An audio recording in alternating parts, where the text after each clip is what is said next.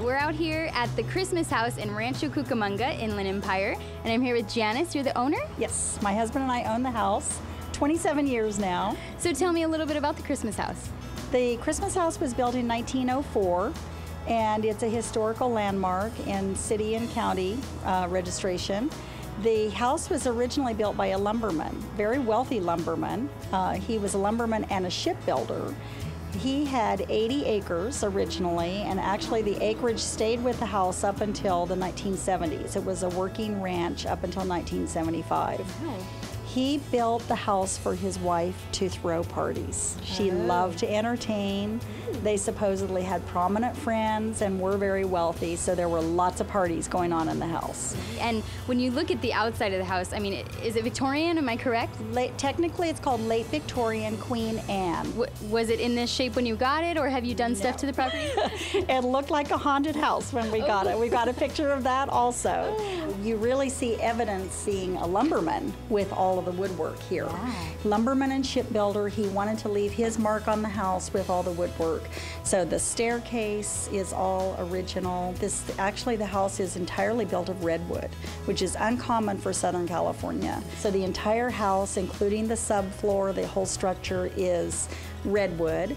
Well, that's incredible. And what is this These room were, called? These were the double parlors, or the family called the Whitson family who owned the house uh, until 1975 referred to this as the reception room because this is where, their, where they received their guests for parties. Oh. And then they called this the parlor or also the music room because they had five musical instruments in this room. It has the lyre stained glass that's original. They had a Nickelodeon and a piano, and I don't even know what other musical instruments, but um, It just it all sounds so grand, you know, like like ballroom and, And that's music. what I picture when I think of the parties in the early 1900s that happened here. This is what it, the house and the ranch looked like through most of the 1900s. And then you can see all the citrus trees surrounding the house. and the the palm trees. Always say look for the 15 palm trees. Yeah. uh, because uh, you can see them from quite a ways away. Now this is our uh, before picture. So this is you asked what how much work we had to do. This is what it looked like when we bought the house. Wow, yeah, I can see the yard is. I It's all weeds. Had a chain link fence across the front to keep people out. Well, it's it's so lovely, Janice. I just I love this. Now the name started, the Christmas house um, started because of all the Christmas parties that they used to have in the house. Oh, they was gonna ask. Yes, they were always having parties. And at Christmas time, really went overboard with very lavish Christmas parties. Can we see the rooms? We can. So we left the creaks in the stairs on purpose. Oh, I love it. So as you're going up, you're going to hear the creaky stairs. No sneaking around this house. No, and everyone loves the creaks. It's part. Of, it's we figure it's a comfort sound. It's part of an old house. Oh, what is this? This is the master suite. Um, it is an overnight room that we call the celebration suite officially. When we have weddings here, this is the bridal dressing room. So So pretty. it's a beautiful room. We have just redone this room. It was just completed a couple weeks ago. This is where bride, bridesmaids all gather to put their dresses on before the wedding. This is um, a room that we've named heirloom because the framed handkerchiefs that are on the wall are my mother's heirloom handkerchiefs, including one she carried in her wedding. This room originally was the nursery, and everything was baby blue and pink. but um, this is a beautiful room, also. Very, very pretty. And so this is typically where the bride and groom stay. This is the room that they want. It- mm-hmm. There is a seclusion that you feel back here because this is a separate building. The, mm-hmm. This is the original carriage house, also built in 1904. Back then, it was for their carriages. So we had to uh, do a lot of renovation back here to make this nice. We put a skylight over the bed. We put in the fireplaces back here in these two rooms, but these are old. This is a fireplace from the early 1900s. So you do you do a lot of weddings here? Through the years, the house just became so much in demand for weddings, couples pleading, asking, and our weddings grew and grew and grew to where now we are more of a wedding facility with a bed and breakfast inn supplementing. But also, what's nice for our weddings is that the couples can take our overnight rooms after the wedding when they're very mm-hmm. tired. We give the bride and groom one room complimentary with their wedding.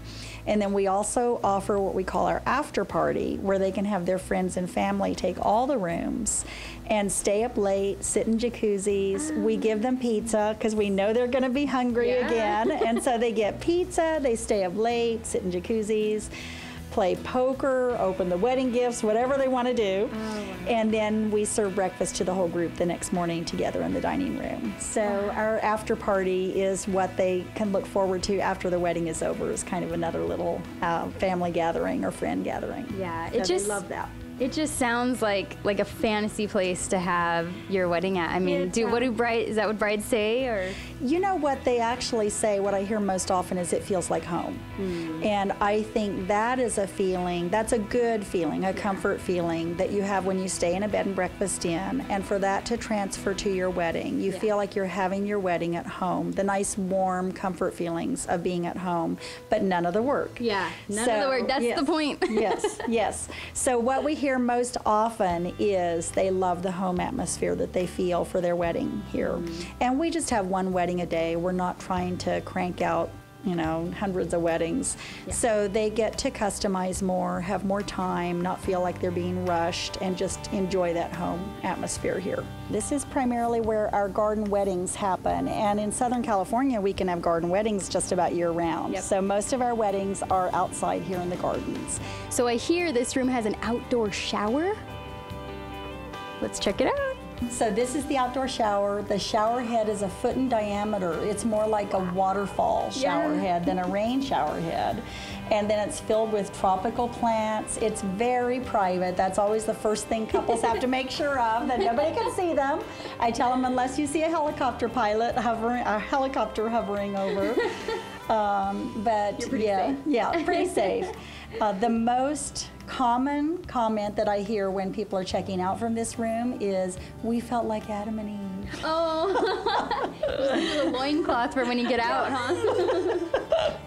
oh, it's just beautiful. I'm just gonna walk out here. Showering in a garden. Yeah, this is lovely. It's definitely very private, Very very, private. quiet. And yeah, that's also- huge. This is a nice room for newlyweds too. It's actually a toss-up. Uh, couples have a hard time deciding jacuzzi or outdoor shower. Yeah. Okay, wow. I mean, all the grounds are just so beautiful here. Thank you. Takes I- a lot of work. Yeah, I can tell. Oh, I noticed this swing. Feel free. Ooh, thank you. Come on over. Are, is this like your one of your favorite spots or?